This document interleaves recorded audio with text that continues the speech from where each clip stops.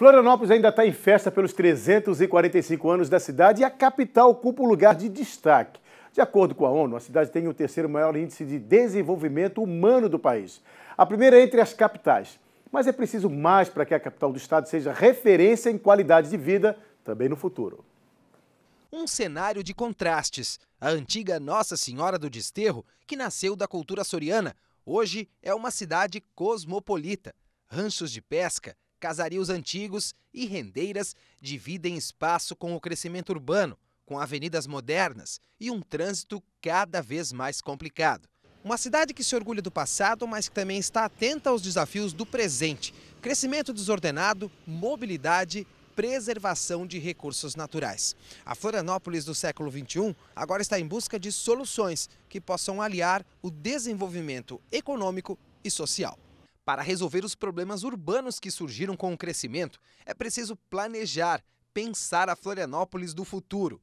A ONG Floripa Amanhã defende políticas públicas que incentivem investimentos inteligentes para uma cidade humanizada. Ela atrai empresas de alta tecnologia, ela atrai a expertise das pessoas que querem trabalhar numa cidade gostosa, agradável, com qualidade de vida. A cidade, que no passado era vista só como um polo de serviços públicos e administrativos, se transformou em um polo turístico e agora é vitrine brasileira da indústria da tecnologia. A gente acredita muito que Florianópolis hoje é um hub para o mundo. Cada vez mais a gente está trazendo e fomentando negócios que se conectam com o mundo inteiro. As belezas naturais, cartões postais que se espalham por toda a capital, são peças chaves na identidade de Florianópolis e fazem parte de qualquer projeto que pense a cidade. Dotar a cidade de infraestrutura para que essa infraestrutura preserve a natureza e incentive as atividades econômicas